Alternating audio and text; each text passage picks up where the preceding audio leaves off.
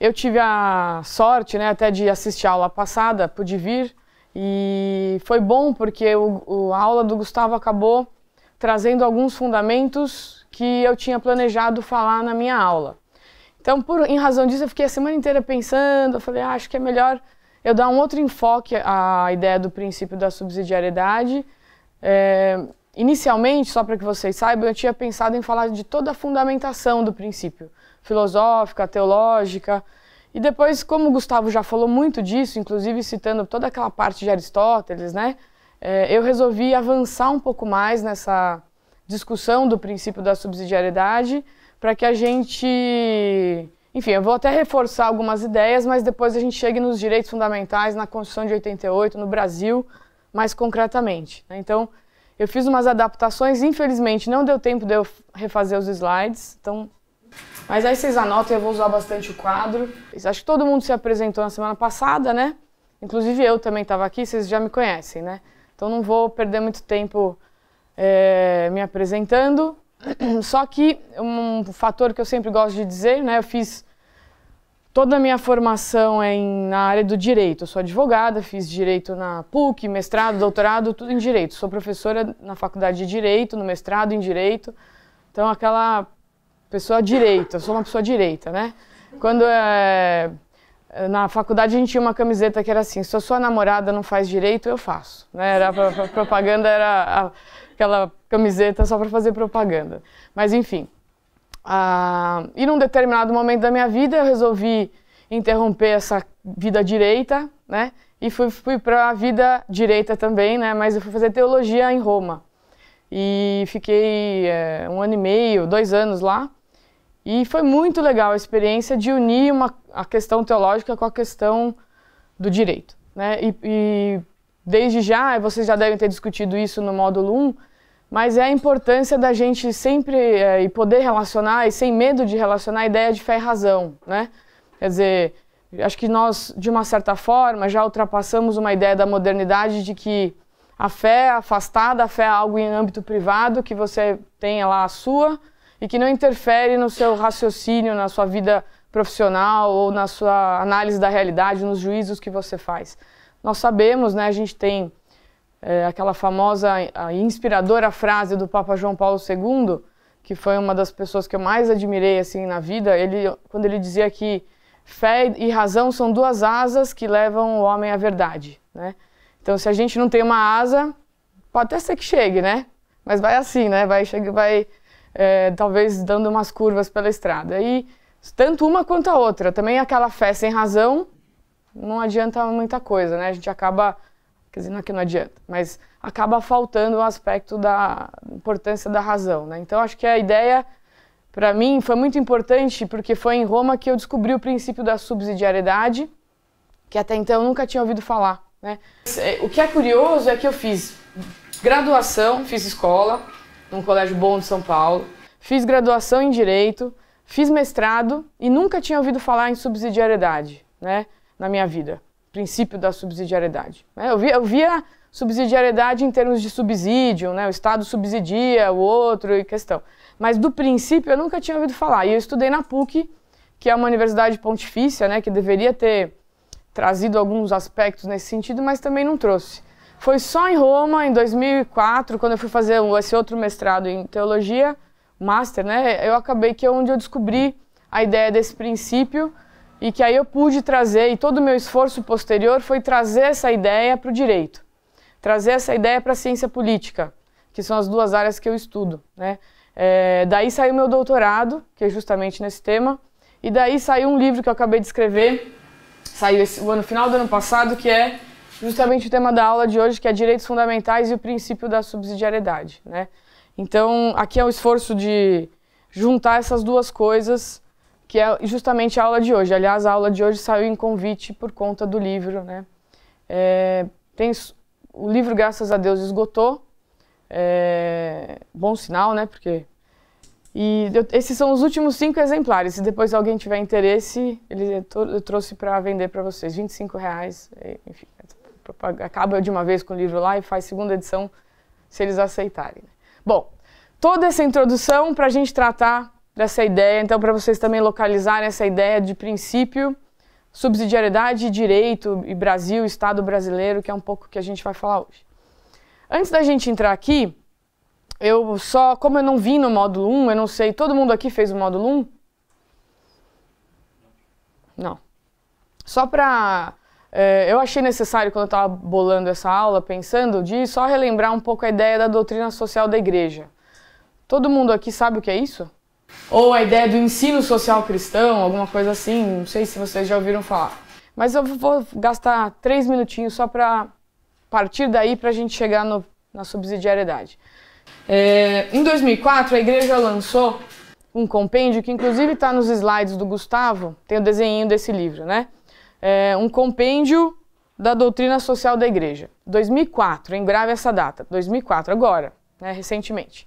A gente fica velho, 2004 é muito perto, né? Quando a gente é, já tem uma certa idade, é, enfim. Esse, esse, compêndio foi um documento feito, né, pela é, comissão, comissão da Justiça e Paz, onde é, pela primeira vez a Igreja resolveu unir todos os ensinamentos que foram sendo feitos ao longo do tempo num determinado livro de forma estruturada. Então esse compêndio ele tem a função não é de trazer nada novo, mas de estruturar o ensino de uma tal chamada doutrina social da igreja, ou ensino social cristão. Porque antes o que a gente tinha? Um papa que escreveu uma encíclica aqui, uma rádio mensagem de um outro papa na época da guerra, um outro documento ali, a Bíblia, enfim, a gente tinha vários documentos esparsos, onde as pessoas e os estudiosos iam caçando informações e conceitos para se pensar no ensino social, né? Aqui é quando a igreja fala: olha, o ensino social existe, é um corpo que tem princípios, tem fundamento e tal. Então, esse compêndio serve para isso. Só em 2004 foi feito isso. Então, até 2004, o que a gente tinha eram ideias a partir de estudiosos sobre o tema. Né? Nesse compêndio, para que vocês saibam, a igreja decidiu, definiu que existem cinco princípios do ensino social cristão. Quer dizer, cinco ideias mestras, pilares, para se pensar numa, no ensino social, uma doutrina social da igreja. Né? A gente às vezes evita falar doutrina, porque doutrina parece aquele negócio, né? Doutrinação tal. Então serve ensino, vocês podem usar as duas palavras, né? Mas é, quais são esses cinco princípios? Alguém sabe? Subsidiariedade. Muito, muito bem, né? Muito bem, né? O da aula passada, bem comum, né? Vamos vou colocar aqui na lousa para gente. Então, uh, prim, uh, vou, vou, colocar não necessariamente na ordem que está no compêndio, mas é, o bem comum é um princípio. Dois, a subsidiariedade, que a gente precisa fazer um treino para falar a palavra.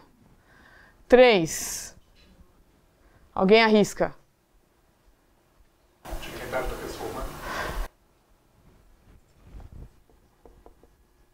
Quase. Tá lá também, claro. Mas eles chamam, para que vocês saibam, a dignidade da pessoa humana como princípio dos princípios. A ideia é essa: princípio dos princípios. É a base de tudo. É o centro, é da onde a gente parte. O que mais? Ó, oh, que vocês não sabiam, hein? Ah, falei, falo ou não falo, né, tal solidariedade,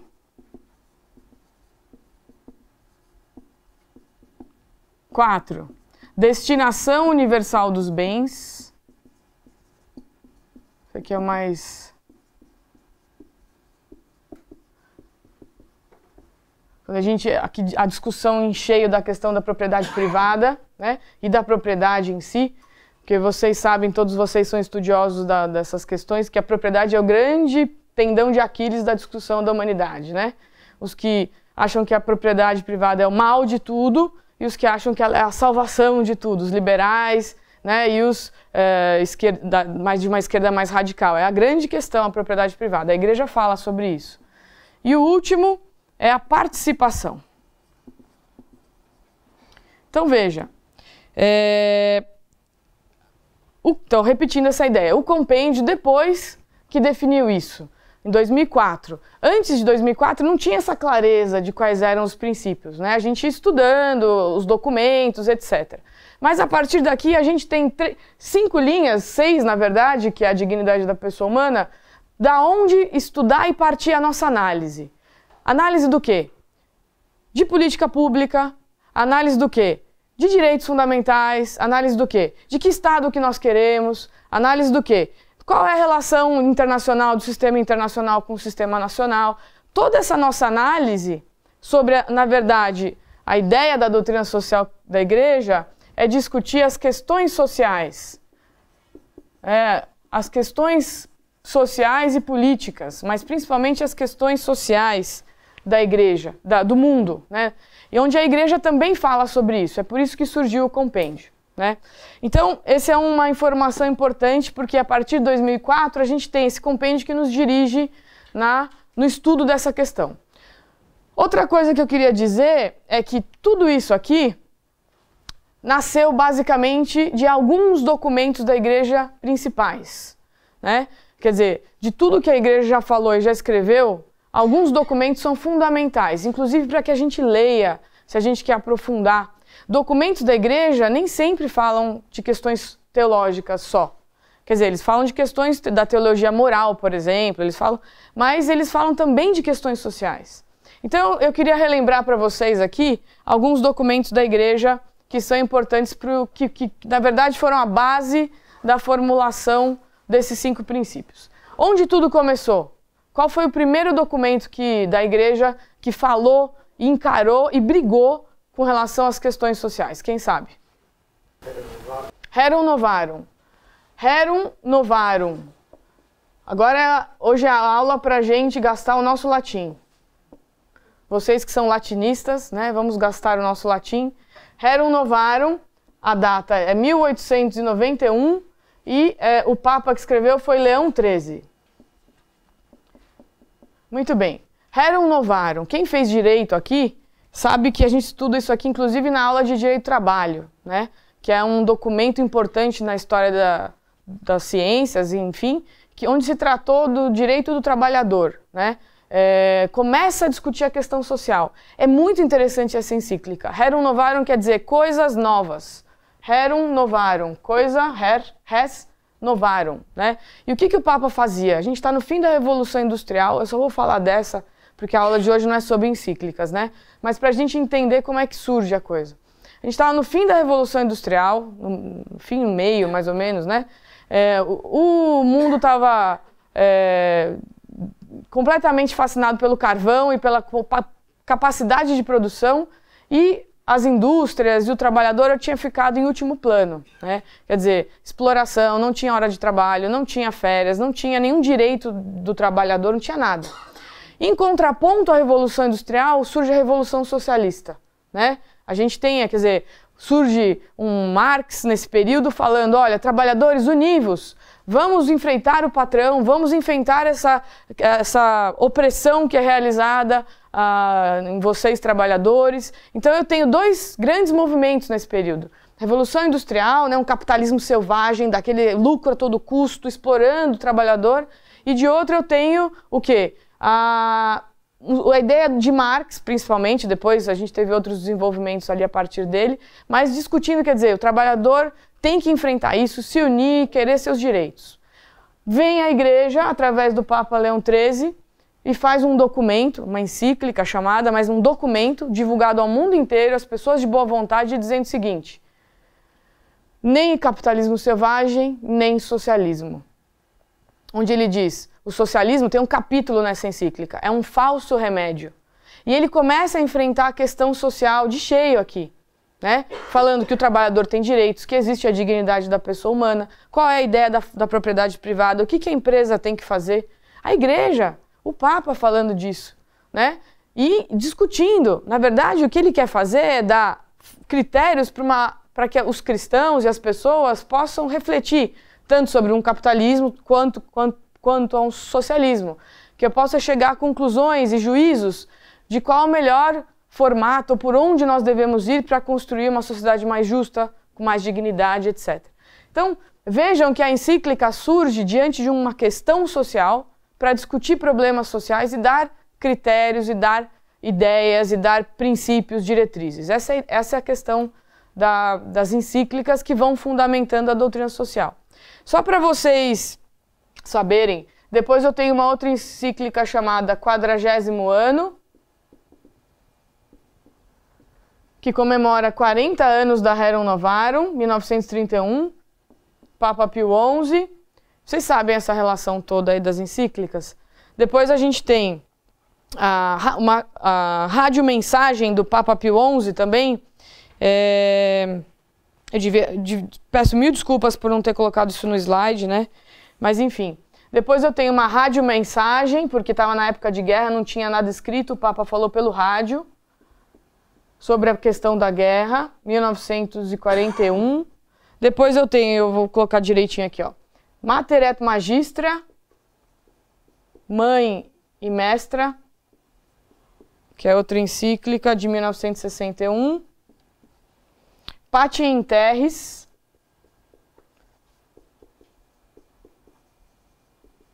que é de 1967. Depois, octagésima Advênias,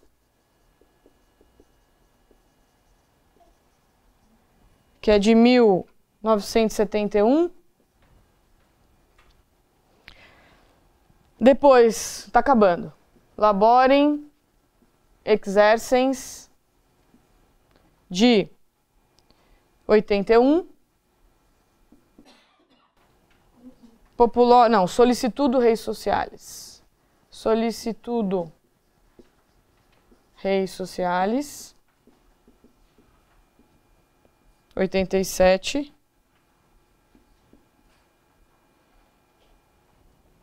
Olha, eu errei aqui, ó. Desculpem. Patienterres é de 63. E aqui ficou faltando uma. Que bagunça, hein?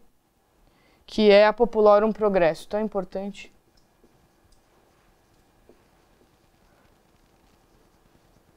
Que é de 67. E centésimos anos. De 1991, Caritas in Veritate, que já é o Papa Bento XVI, 2009, e o do Papa Francisco, Laudato Si, 2015. Desculpem a colocação aqui, mas vejam. Todas essas encíclicas são o corpo de documentos que a igreja utiliza para compor o ensino social cristão, né? Essa parte aqui. Começa em 1891 e ela realmente é a mais importante, porque vocês podem ver, daqui para cá, essa chama quadragésimo ano porque comemora 40 anos da Rerum Novarum. Como aqui, octagésima adveniens, 80 anos da Rerum Novarum. E como aqui, centésimos anos, 100 anos da Rerum Novarum. Para vocês, a gente ver que essa aqui é o marco mesmo da doutrina, do, dos ensinamentos. E cada uma tem um seu momento, né, que vai destacando questões sociais que vão surgindo. Tanto é assim, é verdade, por exemplo, que a gente vê essa última do Papa Francisco, que um dos grandes temas abordados por ele é a questão ambiental que é uma questão que a gente vive hoje em dia e que o Papa também troca, toca nessa questão. Então, é um corpo, enfim, se a gente fosse fazer um curso só de, de ensino social cristão, a gente ia estudar todas elas, mas eu acho importante a gente saber é, quais são os documentos e saber que deles se fez o compêndio, se destacou esses cinco princípios, para que a gente pudesse estudar as questões sociais, né? as questões políticas e sociais que são, são colocadas para nós é, enfim, é, na faculdade, nos desafios do trabalho, na política, no, no, Brasil de hoje. Tem muita coisa que isso aqui tem a nos dizer no Brasil de hoje. Né? É, muito bem, tudo bem, gente? Até aqui, desculpem fazer essa. Mas para dizer, por que, que eu vou falar de princípio da subsidiariedade? Da onde que surge esse tema da minha aula, esse nome da minha aula? Surge daqui. É daqui que a gente que eu peguei isso, que a gente pega isso. É um princípio em que a igreja destacou como princípio no compêndio e que nasce de todos esses escritos. Todos esses escritos tratam da subsidiariedade de uma certa forma. Né? Mas eu vou avançar um pouquinho, depois eu volto, vocês vão ver no slide de vocês, mais para frente, tem na primeira encíclica, onde surge efetivamente o princípio da subsidiariedade. Né? Tudo bem? Todo mundo consegue falar subsidiariedade? Não é simples. Vocês sabem que eu lancei esse livro com esse nome de propósito, né? Porque não tem livro sobre isso. Mas aí chegou minha cunhada que fez moda, não tem nada a ver com, assim, com a questão social. Chegou para mim e falou assim: "E aquele seu livro Sub What?", né? Sub What? Aí começou a gozação, que era Sub What que você está falando, né? Que é difícil falar subsidiariedade. Mas vejam, foi na encíclica Quadragésimo Ano, em 1931, comemorando 40 anos da Rerum Novarum, e é importante a gente analisar o momento histórico porque a gente estava num pós-Primeira Guerra Mundial e a solução que a Europa estava encontrando ali para se restabelecer da Primeira Guerra Mundial eram regimes fascistas, né? Tava começando com chegar um Mussolini, um Hitler rondando por ali, quer dizer, estavam chegando regimes totalitários para resolver um problema de pós-guerra. Diante disso, desse problema de pós-guerra, tal, surge, vem a Igreja, o Papa Pio XI, e ele dentre outras coisas, né, que hoje o nosso assunto é esse, diz o seguinte, ele coloca, vamos ler que acho que é importante, né? Ele fala, olha, percebam a ideia da subsidiariedade aqui. Como é injusto, injusto, subtrair aos indivíduos o que eles podem efetuar com a própria iniciativa e própria capacidade. Isso é uma ideia fundamental, né? Para confiar à coletividade, do mesmo modo passar para uma sociedade maior e mais elevada, o que as sociedades menores e inferiores podiam conseguir. É uma injustiça, um grave dano e perturbação social. O fim natural da sociedade da sua ação é coadjuvar os seus membros, não destruí-los, nem absorvê-los. Né? Quer dizer, qual que é a ideia que está aqui? Que é uma ideia central da subsidiariedade. O que uma sociedade menor pode fazer, ela deve fazer. A sociedade maior não deve fazer o que uma sociedade menor pode fazer. A sociedade maior deve ajudar a menor a fazer. Essa é uma ideia central na subsidiariedade, né? O indivíduo, e começando no indivíduo, chegando no indivíduo. Deixe, pois, a autoridade pública ao cuidado das associações inferiores aqueles negócios de menor importância, que absorveriam a autoridade pública, né, demasiadamente. Poderá, então, desempenhar mais livre, enérgica e eficazmente o que só ela, só ela compete. Porque só ela o pode fazer. Ela quem? A autoridade pública. O que, que ela, só ela pode fazer? Dirigir, vigiar, urgir, reprimir. É, linguagem de 1931, né, gente? É, conforme os casos e a necessidade. Persuadam-se todos, aí vem ele diz, que os, os que governam, quanto mais perfeita ordem hierárquica reinar entre as várias agremiações, Segundo este princípio da função subsidiária dos poderes públicos, tanto maior influência e autoridade terão esses, tanto mais felizes e lisonjeiros será o Estado da nação. Então, o que, que, que, que o Papa nos coloca aqui?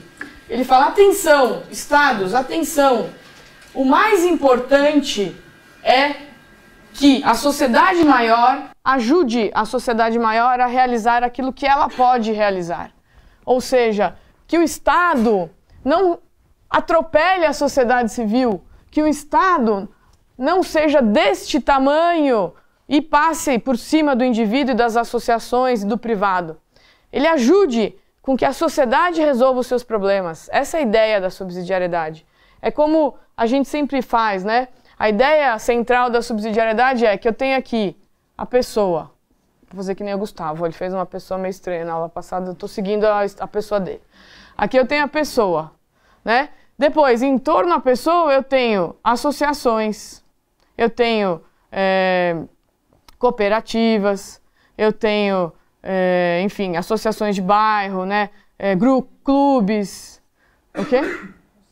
Conselhos, ah, boa, conselhos. Depois, eu tenho aqui em torno a isso o município. Depois, eu tenho aqui em torno a isso o Estado. E depois, eu tenho em torno a isso a União. É, quer dizer, qual que é a ideia da subsidiariedade? Que a sociedade maior, a União, ajude as sociedades inferiores a fazerem o que elas podem fazer. Que não pegue a União tudo para si.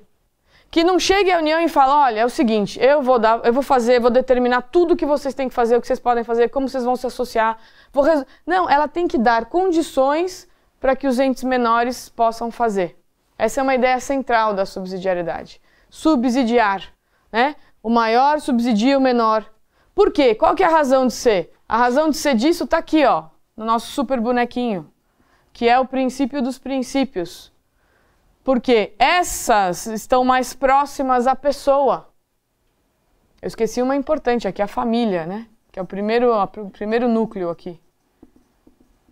Quer dizer, quem sabe melhor sobre a educação do seu filho? A família, o conselho, o município, o estado ou a União? A família. Né? Quer dizer, ela que é eu que estou acompanhando ali a coisa, é a mãe, a mãe que está acompanhando a coisa, né? Sabe a dificuldade do filho, sabe o que está acontecendo, a escola, o conselho, o município, o estado, a União. Não pode a União querer dizer tudo o que tem que ser feito. Dá problema. A gente sabe isso. Já vamos pensando na nossa situação. Por isso que a oficina municipal foca o município. É o ente da federação mais próximo da pessoa. É ali que muita coisa tem que ser feita. O primeiro pacto federativo que a gente tinha que enfrentar no Brasil, Temer ou quem vier, era um pacto de maior competência ao município, né? Maior questão de administração de gastos, porque ele tem mais condições de fazer um monte de coisa que o Estado não tem, que a União não tem, não deveria ter. Então vejam, eu já estou adiantando um monte de coisa da nossa aula, né? Mas vejam que é como é, é é, atual e prática essa ideia da subsidiariedade. Não ficou lá em 31, né? Depois vejam, eu trouxe duas aí, destaquei no slide de vocês, duas outras encíclicas de, de todas aquelas que eu citei, que são importantes e que trazem palavras importantes para a gente analisar e entender o princípio da subsidiariedade. Vejam, por exemplo, há centésimos anos, né, 100 anos da Rerum Novarum, foi o Papa João Paulo que fez. Olha o que ele diz. As anomalias e defeitos no estado assistencial, então ele já está falando de estado assistencial, estado do bem-estar, né? Derivam, então, os defeitos e anomalias no estado assistencial derivam de uma inadequada compreensão das suas próprias tarefas. Vamos enfrentar o Bolsa Família conversando aqui? Estado assistencial. O quanto uma política pública de um estado ela é assistencial ou ela é realmente algo que considera a pessoa como pessoa capaz e ajuda com que ela resolva os seus problemas, né? Vamos pensar, o que ele está falando? O problema de um estado, os defeitos de um estado assistencial é quando ele não compreende as suas próprias tarefas. Nesse âmbito, deve-se respeitar o princípio da subsidiariedade. Olha lá, na encíclica. Uma sociedade de ordem superior não deve interferir na vida interna de uma sociedade de ordem inferior, privando-a das suas competências, mas deve antes apoiá-la em caso de necessidade e ajudá-la a coordenar a sua ação com a das outras componentes sociais, tendo em vista o bem comum. Né? Essa é uma ideia clara, é que já fala em princípio, já entra na, no, põe o dedo na ferida do Estado assistencial, porque é é, no, por exemplo, no Brasil, ai de quem fala contra o Bolsa Família ou chama o governo de assistencial porque ele dá Bolsa Família. Você é taxado de que não gosta de pobre, que você não quer saber de pobre, porque você não entende a questão social, que você não é pobre. Se você fosse pobre, quer dizer, eu estou muito acostumado a ouvir isso, né? Agora, será? Será que é assim? Quer dizer, não, e eu vou dizer para vocês desde já, eu acho o Bolsa Família um, uma política pública, um programa necessário, importante. Não tiraria, mas ele tem que vir acompanhado com outras coisas para atender ao princípio da subsidiariedade. A gente vai chegar nele mais para frente. Né? Vejam, por exemplo, em 2009, como vai cada vez mais sendo aperfeiçoada a ideia do princípio da subsidiariedade. Olha só, o que diz o Bento XVI. O princípio da subsidiariedade é a expressão inalienável da liberdade humana. Gravem essa, essa ideia na cabeça e na apostila de vocês. Subsidiariedade é um outro nome para a ideia de liberdade. Essa ideia toda aqui, ó, ela existe para que eu consiga dar a este serzinho aqui, a esta pessoa, a maior liberdade possível. Liberdade de escolher, de se realizar. Eu vou dar condições, eu vou dar oportunidades, eu vou dar né, bens e direitos a essa pessoa para que essa pessoa possa se realizar, possa se desenvolver. Essa é a ideia da subsidiariedade. Liberdade humana. A subsidiariedade é, antes de tudo, uma ajuda à pessoa na autonomia dos corpos intermediários. Corpos intermediários seriam esses organismos aqui intermediários entre o Estado e a pessoa. Tal ajuda é oferecida quando a pessoa e os sujeitos sociais não conseguem operar por si sós e implica sempre finalidades emancipativas, porque favorece a liberdade e a participação, enquanto a assunção de responsabilidades. A subsidiariedade respeita a dignidade da pessoa. Olha que importante agora. Na qual vê um sujeito sempre capaz de dar algo aos outros ao reconhecer na reciprocidade a constituição íntima do ser humano, tantã, a subsidiariedade é o antídoto, antídoto mais eficaz contra toda forma de assistencialismo paternalista. Quer dizer, você ajuda, você ajuda, você Estado, mas ajuda aquela pessoa a fazer as coisas. Você trata aquela pessoa com a dignidade que ela tem. Você a considera um sujeito capaz, não um sujeito incapaz né? Muitas vezes eu preciso voltar lá atrás, dependendo da condição de miserabilidade da pessoa, e dar recursos, e, e, e lá do básico mesmo, que a pessoa talvez não tenha nada. Mas o tipo de política que você desenvolve, você tem que conseguir verificar se aquela pessoa está crescendo como pessoa, no seu trabalho, nas suas realizações, na sua família, nas condições que ela tem. É uma discussão enorme sobre. A gente vai chegar no final da aula sobre essa questão das políticas.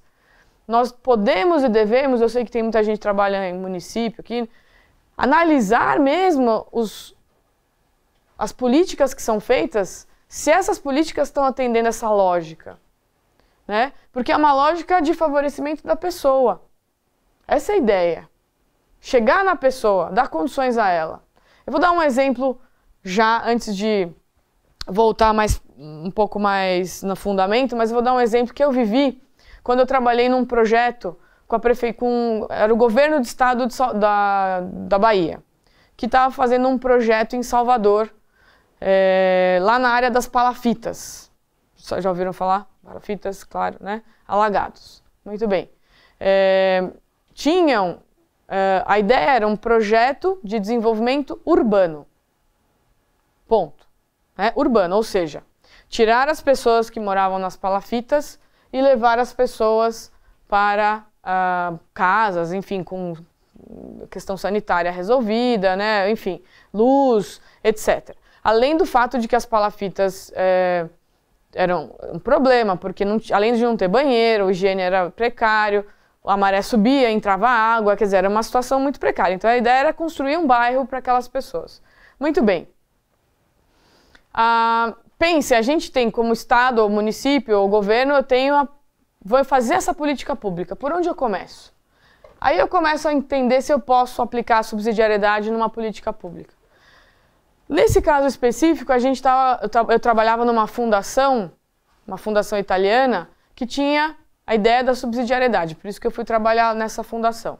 E ela fazia um apoio, uma assistência técnica ao governo para a aplicação do programa, né, desse programa. Vejam só, qual foi a, a proposta feita e o que foi feito? Chegar naquele bairro, que tinham 120 mil famílias, não era pequeno, 120 mil famílias dá umas 500 mil pessoas, né, mais ou menos. 120 mil famílias moravam em palafitas. Eu tenho várias alternativas para trabalhar numa intervenção dessa forma. Subsidiariamente, o que foi feito? Chegou lá e falou o seguinte: vamos fazer pesquisa e verificar Quantas associações existem nesse bairro? O que, que esse bairro, essas pessoas que moram aqui, o que, que elas já fizeram? Então elas tinham cooperativa de pesca, associação de costureiras, creches comunitárias, tinham 80 associações constituídas naquele lugar. 80, gente.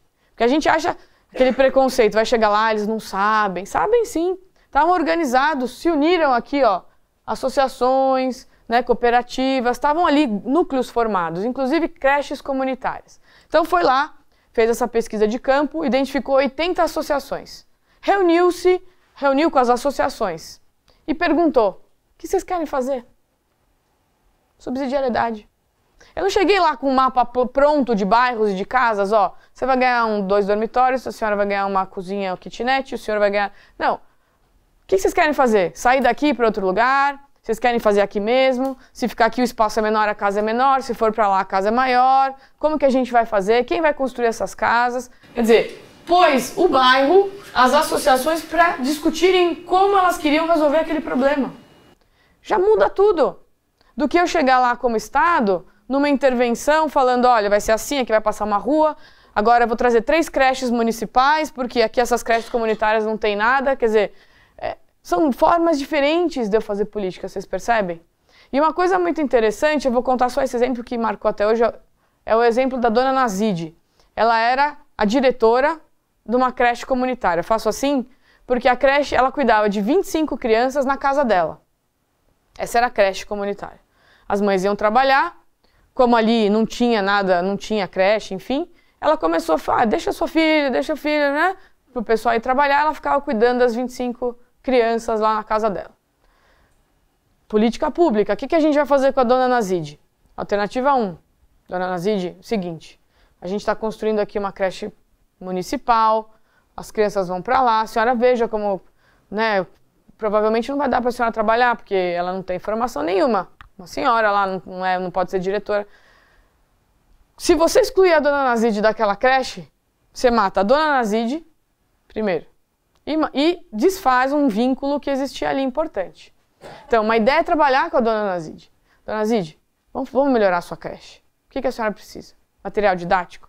Se eu puser três monitores aqui para ajudar a senhora a brincar com as crianças, não sei o que, começa devagar. Merenda, parará, aumenta, faz uma casinha no quintal da dona Nazide. Começa assim, porque qual, por que, que eu tenho que ir lá e construir uma creche municipal? Trazer professor lá da, é, da Barra, do bairro do Salvador, que não quer ir para Lagado de jeito nenhum, acorda de manhã e vai xingando até lá, que está indo para a periferia. Chega lá, com aquela, fica com aquela cara com as crianças, não tem nenhum vínculo com a comunidade. Você destrói o que, tá, o que tem ali, percebe? Se você pega a Dona Nazide, vamos dar um curso, Dona Nazide, vamos fazer um curso, Dona Nazide, vamos aprender como fazer que, pedagogia infantil em tal, tal, tal. Quer dizer, melhora a Dona Nazide, dá estrutura ali, forma uma creche. Subsidiariedade. O maior ajudando, subsidiando o menor a resolver seus próprios problemas. Então veja, a ideia da subsidiariedade ela é uma ideia teórica, a gente lendo aqui, ela começa de um macro, ela começa de uma ideia de subsidiariedade, mas ela chega lá, na dona Nazide. Ela tem que chegar lá, na forma com que o Estado vê a pessoa, com que o Estado trabalha as políticas. Esse é um ponto importante para a gente pensar e refletir, né?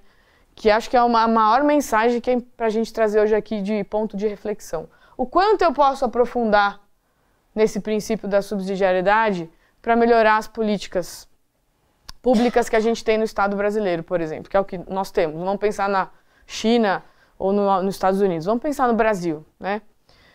Tudo bem até aqui? Alguém quer falar alguma coisa? Eu, eu inverti tudo que eu ia falar, mas está indo tudo bem, né? Está indo tudo bem? É, vou, dizer, vou inverter mais um pouco. Eu trouxe aqui só para mostrar para vocês. Vocês sabem que a Itália é, ela, falando já de outro país, ela tem o princípio da subsidiariedade na Constituição. Artigo 118 da Constituição italiana diz que o Estado deve agir de acordo com o princípio da subsidiariedade, que facilita. Nós não temos na nossa Constituição esse princípio estabelecido.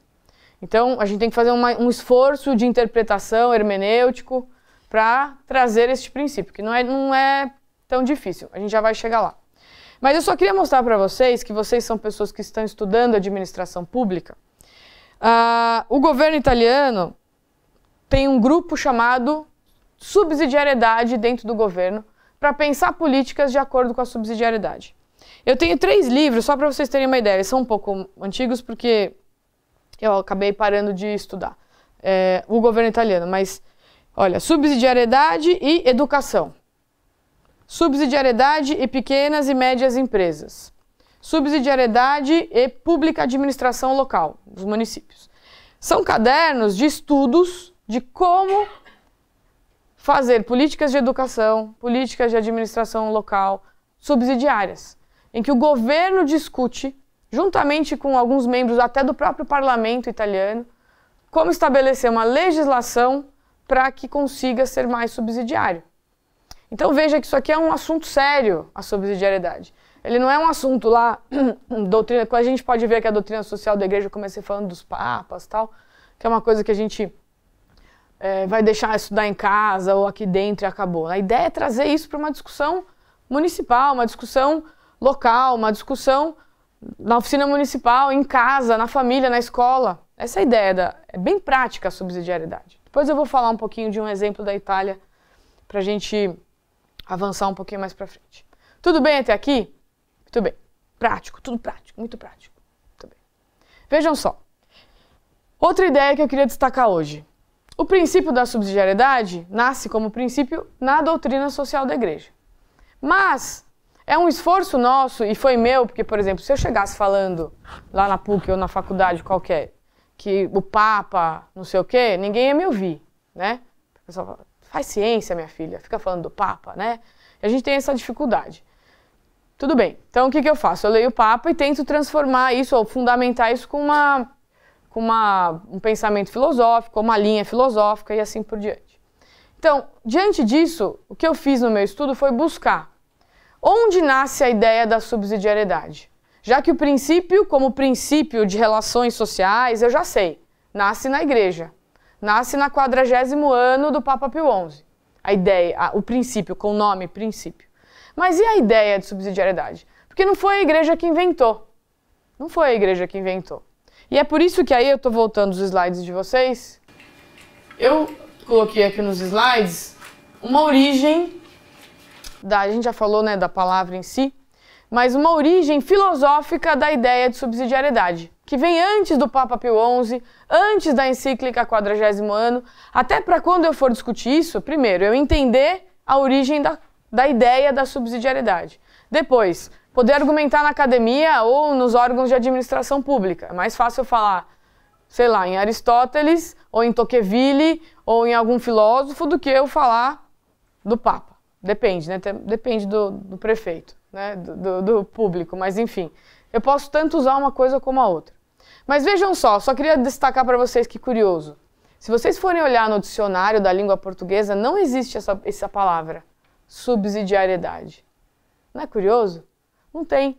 Tem subsidium, né? Principalmente a palavra subsidium que é colocada ali, né? Mas subsidiariedade, ou princípio da subsidiariedade, não tem. Para ver como a gente, no Brasil, na língua portuguesa, está engatinhando nessa discussão, né? Mas então, ó, se vocês partirem da origem da palavra e do dicionário, eu vou encontrar subsidium, que quer dizer ajuda, auxílio, socorro, reforça, algo que se realiza por meio de auxílio ou subscrição, né? Essa é a ideia, auxílio, né? Sub, da, subsidium, ou desculpa, subsidio, né? É, que está no dicionário da língua portuguesa. Mas aí, vejam, que está nos slides de vocês e que tem tudo a ver com a aula do Gustavo, eu fui buscar como é que nasce essa ideia de auxílio, de subsidiariedade. E eu destaco aqui no slide de vocês, façam uma marquinha aí, que eu estou falando da ideia de subsidiariedade, não do princípio. Aristóteles não falou, olha, gente, princípio da subsidiariedade, sociedades maiores, sociedades. Não. Ele, só, ele tinha uma ideia. Qual que era a ideia do Aristóteles?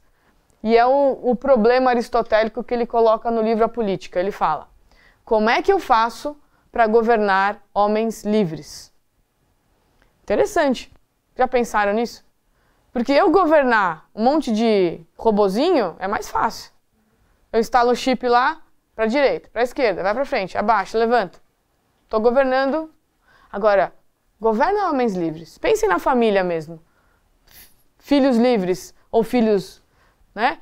Quando seu filho começa a ter. É complicado. Melhor você pôr de castigo, falar, ó, não pode. Por que não? Por que não? Né? A gente faz assim às vezes, quando acaba a argumentação, né? Agora, a ideia do Aristóteles é: eu preciso governar, eu tenho autoridade, mas eu tenho a ideia de que aqueles homens são livres, eu não posso tirar a liberdade da pessoa. Aliás, eu escrevi pessoa que era liberdade a palavra na hora. A liberdade da pessoa. É. E ele, a partir dessa discussão de Aristóteles, é onde ele começa a pensar governo e liberdade são duas necessidades aparentemente contrapostas. Mas eu tenho que fazer prevalecer o princípio da liberdade de autonomia, a liberdade da pessoa dentro do Estado. Aristóteles optou por isso. É daí que sai a ideia de subsidiariedade, uma ideia remota ainda, né? Ele não fala essa palavra, mas ele está discutindo o quê?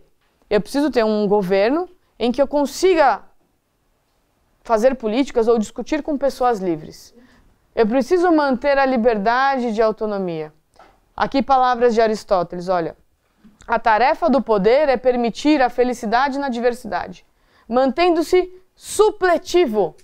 Supletivo, suplementar, ele não substitui a pessoa, né? Ele acompanha, ele complementa e não criador da sociedade. Não é o Estado. Aquele gráfico que o Gustavo pôs na aula passada, eu achei muito legal, do Jacques Maritain. Quer dizer, o Estado ele está dentro da ideia de sociedade. Né? Não é o Estado que cria a sociedade. A sociedade política é maior que o Estado.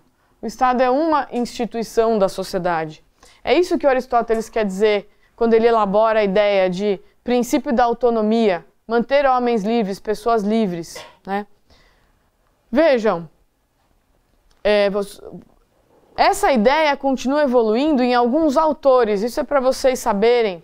Por exemplo, durante a Idade Média, século 14 e 15, nós temos a formação do humanismo civil italiano, onde nós temos dois autores, é, Jean Battista Vico e Antônio Genovese, que é, tratam da ideia de subsidiariedade quando eles criam e trazem a palavra reciprocidade. Reciprocidade é um complemento da ideia de subsidiariedade. Reciprocidade está dentro do que eles chamavam de vida civil. Antônio Genovese dizia, na Idade Média, em que a ordem social era baseada em três pontos: troca de equivalentes, redistribuição de riquezas e reciprocidade. Sem reciprocidade, eu não consigo nem fazer redistribuição de riqueza e nem troca de equivalentes. Né? Eu preciso do componente reciprocidade. É ela que vai fortalecer a confiança nas relações, é ela que traz a ideia de liberdade para fazer algo, né? a ideia de autorrealização. Então, é uma ideia que foi se formando, que saiu lá de Aristóteles, princípio da autonomia, e se formou como uma, um pilar da ordem social na Idade Média. A Idade Média se firma na ideia de reciprocidade. Eu preciso da confiança, eu preciso da reciprocidade, da solidariedade. Né? Deixa eu voltar aqui um pouquinho que vocês devem estar perdidos aí no slide. Ah, a ideia, voltei lá para a sequência. A ideia da subsidiariedade, ela tem um fundamento antropológico que nasce em Aristóteles, né? Que é a ideia de que, vejam só, a pessoa ela é um animal social. Lembram que o Gustavo falou disso? Né? Politikon zoon, animal social. Essa ideia da sociabilidade humana, da pessoa animal social, traz a ideia de que a pessoa é social por natureza, tanto é assim que ela desenvolveu a linguagem. Para quem leu o livro A Política de Aristóteles, esse é um trecho bastante interessante quando ele, é, para mim, é onde ele me convence que o homem é social, né? Porque a gente é tão social que a gente desenvolveu a linguagem. Né? Os outros animais não desenvolveram a linguagem, nós desenvolvemos. Porque eu quero conversar com você, eu quero argumentar com você, eu quero te convencer de alguma coisa. Então, Aristóteles coloca como o desenvolvimento da linguagem como um fator que comprova a sociabilidade humana. Né? Isso é um ponto importante. E Aristóteles diz, estou resumindo o que o Gustavo falou, que a vida na polis, a vida boa, né, que Aristóteles usava na, é na polis porque a polis tem a função de desenvolver a virtude, a virtude na pessoa. Né? Todas essas ideias são importantes para fundamentar a subsidiariedade, como fundamento antropológico. Veja, essa ideia de vida boa na polis é aquela ideia que o Gustavo dizia. É na polis que o homem vai e desenvolve a virtude. As relações, a participação. Lembra quando ele dizia isso na aula passada? Quer dizer, é na cidade, é na polis, né, onde ele faz isso. Ele precisa dessas relações individuais para se desenvolver, com base na sociabilidade. E a função da sociedade e a função da polis é o quê?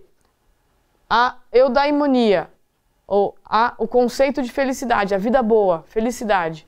Né? Essa ideia de felicidade é o quê? É onde o homem se realiza, é onde o homem estabelece relações entre si né? e consegue desenvolver, se desenvolver. Essa é ideia que a gente colocou aqui, voltando para trás, partindo de Aristóteles. Né?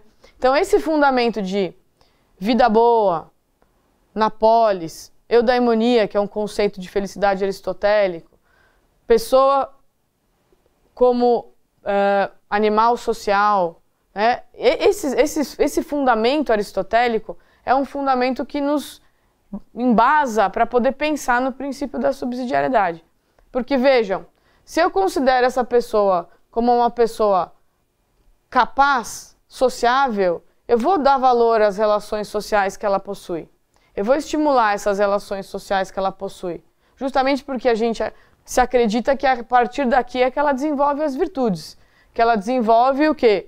A ideia né, de é, participação, vida ativa, que são outros conceitos de Aristóteles. Então, a base, a ideia de subsidiariedade começa a nascer nessa estruturação da polis e, da, e do conceito de pessoa aristotélico.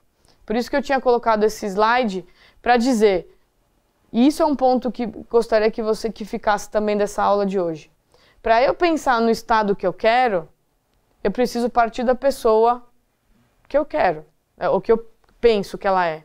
Então, uma pessoa social, consequentemente, a sociedade é algo natural, algo, a sociedade política. E, consequentemente, a sociedade gera um estado supletivo e não um estado que vai acabar com a sociedade, com a pessoa. Então, há uma lógica no conceito antropológico de pessoa para a formação de uma de determinada sociedade e de um Estado. Só para vocês verem, entenderem melhor o que eu estou falando, vocês estão entendendo, mas só para exemplificar, pensem, por exemplo, em outro autor, Thomas Hobbes. Vocês já leram Thomas Hobbes? Já ouviram falar? Todo mundo já ouviu falar, pelo menos, né? O Leviatã, escreveu o Leviatã. Teve aquela, tem aquela frase famosa: o homem é o lobo do homem, né? Enfim, vejam só. O conceito de pessoa de Hobbes é um conceito diferente do de Aristóteles. Porque Aristóteles, a pessoa é social. No Leviatã, no, no Hobbes, né, de Tiville, é um primeiro livro que ele escreve, a pessoa não é social, ela é o lobo do homem. O homem é o lobo do homem. É o oposto. Percebem? O homem, para Hobbes, Thomas Hobbes, é incapaz de conviver. Eu mato o outro, eu brigo, eu luto, eu não tenho, eu tenho insegurança, eu tenho medo. As relações não existem num, num estado de natureza robesiano. É o contrário da ideia de Aristóteles, em que o homem é social, desenvolve a linguagem, se junta na família, se junta em organizações. Quer dizer, percebem? Portanto, Hobbes, que tem uma pessoa lobo do homem, quando ele vai falar da sociedade, ele fala: o homem é incapaz de viver em sociedade. O homem não consegue viver em sociedade. Aristóteles diz: o homem, a sociedade é natural ao homem. Então, veja o quanto o conceito de pessoa interfere no conceito de sociedade que você tem. E para Hobbes, vejam, essa sociedade num caos completo, em que as pessoas brigam e não conseguem estabelecer relações, eu preciso de um Estado leviatã, forte. Porque se o Estado não chegar lá e falar, oh, é o seguinte, as regras aqui são essas, se não tiver a força, né? Se eu não tenho é, um Estado forte, violento, eu não consigo nem estruturar a sociedade e nem ajudar a pessoa, né? nem dominar a pessoa. Vejam como está ligada essa ideia. Aristóteles, por outro lado, a pessoa é social, a sociedade é algo natural à pessoa. e o Estado existe para suplementar a pessoa. Por que, que eu estou dizendo isso? Se a gente quer apostar na subsidiariedade, a gente precisa ter uma linha filosófica coerente. Eu preciso entender que pessoa eu estou falando, essa pessoa origina uma determinada sociedade e, consequentemente, um determinado Estado. O Estado para Aristóteles não precisa ser um Leviatã. Ele, o Estado de Leviatã, ele substitui as pessoas. Se vocês, é, não sei se vocês já viram a capa do livro Leviatã, que tem lá um, é, parece um rei assim grande e o corpo dele é formado por pessoas, carinhas de pessoas. Essa é a ideia do Estado robesiano. É um Estado que substitui as pessoas. Eu entrego a ideia do Hobbes, do Thomas Hobbes é essa. Eu, cidadão, faço um pacto com os outros, essa ideia do pacto, contrato, né? Entrego o meu direito para o Estado, para o Estado dizer o que eu tenho que fazer. Por que isso? Porque para Hobbes a pessoa é um lobo do homem. Ela, ela é incapaz. Já em Aristóteles é outra ideia. A pessoa é social, a sociedade é algo natural, o Estado é supletivo, quer pessoas livres. Ele não precisa vir estabelecer regra, ele discute as regras. Ele subsidia. Por isso que quando a gente busca a origem da palavra subsidiariedade na filosofia, a gente remonta a Aristóteles. Pode falar. Mas mesmo que hoje o Estado não, não, não chegue nessa consiga concretizar tudo isso, mas ele, então, de certa maneira, concorda, vai mais na linha do Aristóteles e não do Hobbes. Depende do Estado, né? Por exemplo, se a gente pensar na Coreia do Norte, que tem lá o Pyongyang lá, ele é um ditador que, numa linha mais de um contrato de um Estado leviatã, né? Estabelece regras, estabelece horários, estabelece direitos. Então eu tenho estados que seguem uma linha de concepção da pessoa robesiana, enfim. E outros não, outros tentam trabalhar uma ideia mais aristotélica, né? Então depende. É essa é uma análise importante para a gente fazer. Que estado que a gente quer, né? Depende do que? Da reflexão que a gente faz sobre pessoa. E vejam, a igreja foi muito clara quando ela disse isso no princípio da subsidiariedade. Um Estado assistencialista, ele na verdade está vendo as pessoas como pessoas incapazes e não capazes. É aí que a gente chega. Se a gente vai discutir o Estado e a função do Estado hoje, a gente tem que pensar que pessoa, como é que eu vejo a pessoa? Social? Capaz de ser feliz? Né? Que pode desenvolver a virtude? Ou não? Para mim, aquele lá, aquelas pessoas são um bando de que precisam de regras, não são incapazes de conversar, né? a violência reina, a desordem, então eu preciso impor coação, direitos, regra, contratos, etc. Né? Então, eu acho que a gente tem essa reflexão hoje em dia a partir de, dessa, dessa ligação aqui, pessoa, sociedade, Estado. A ideia do Estado subsidiário parte de uma pessoa social que busca reciprocidade. Né? Essa é uma outra linha filosófica. Sabe que isso é importante, gente? Eu sempre falo para os meus alunos na faculdade. A gente no Brasil tem uma certa dificuldade nisso, né? Mas vocês, quer dizer, nós precisamos ter uma coerência filosófica. Não dá para eu adotar vários, pegar uma frase de cada filósofo e compor uma salada, né? Principalmente aqueles que estão na vida acadêmica ou escrevem, mas a gente precisa ter uma linha. Um filósofo precisa concordar com outro, né? Eu não posso ser aristotélico e robesiano ao mesmo tempo. Né? Então eu preciso optar por uma linha filosófica. Né? Muito bem.